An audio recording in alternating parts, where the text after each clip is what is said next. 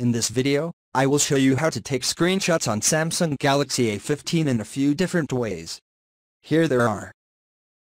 Method 1. Simultaneously press the power and volume down buttons. Press the power and volume down buttons on the right side of the phone at the same time. Hold down both buttons until the display indicates that a screenshot has been captured. Some smartphones indicate the successful capture of a screenshot by flashing a white screen.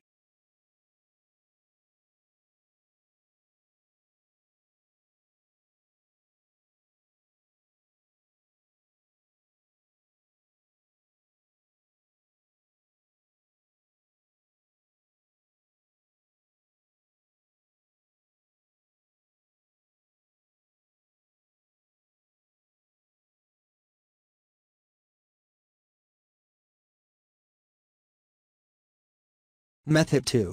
Take a screenshot using the Assistant menu. To do so, go to the phone settings and select Accessibility.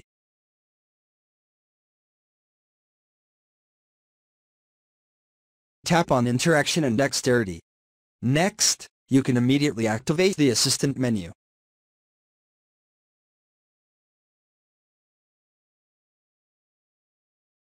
When the feature is already active, a floating button in the shape of a four-box icon will appear.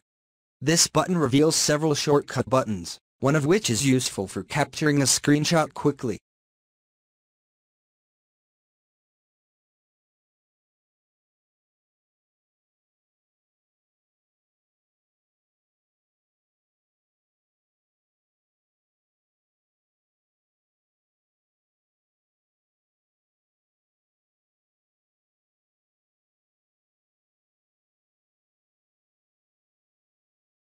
Method 3.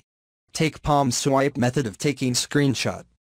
Before anything else, open the app that you want to capture or go to the screen that you want to save in a screenshot. Then, place your palm vertically on the left or right edge of the screen and swipe it in the opposite direction until you reach the other edge. This action should be done as a single motion gesture, with four fingers pointing forward and with your hand touching the screen. Once you've swiped your palm over the screen of your Samsung Galaxy device, you should see the screen flashing for a second and hear a shutter sound. If you want to enable palm swipe on the Samsung Galaxy A15, open the Settings app. Tap Advanced Features. Select Motions and Gestures. Make sure that palm swipe to capture is toggled on.